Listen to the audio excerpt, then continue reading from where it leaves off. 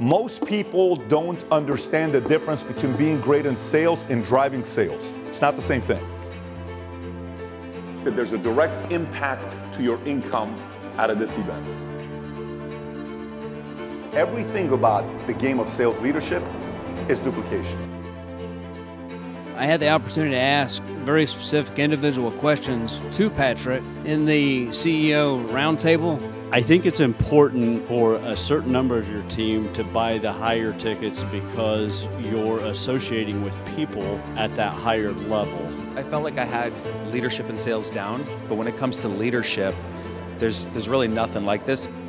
We wanted to bring our team. I think it would be a different delivery if I came by myself and then tried to go back and explain everything that I saw, felt, and heard here by myself. So, a big part of this entire session with SLS for you is to identify what leaks you have in your sales business. It's a great human investment. It's an investment in your company, it's an investment with your staff and your team. A place where you could gather fantastic intelligence and obviously network with great folks.